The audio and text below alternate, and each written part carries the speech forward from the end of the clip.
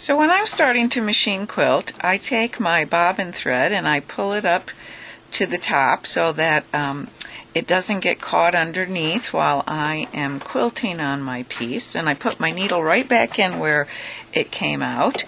And I hold my two threads on the left and I start machine quilting.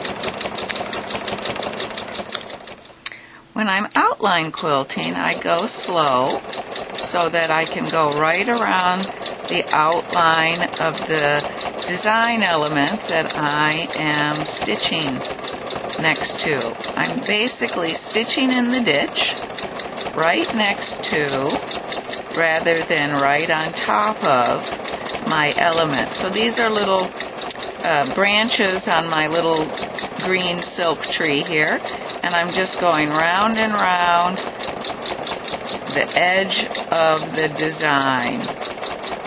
I'm going slow so that I can stay right on the edge and that I can have control.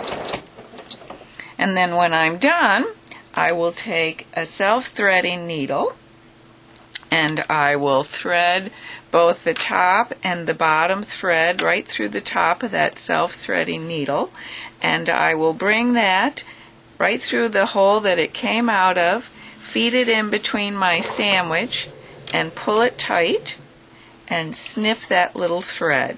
And that's how I handle my threads when I'm machine quilting.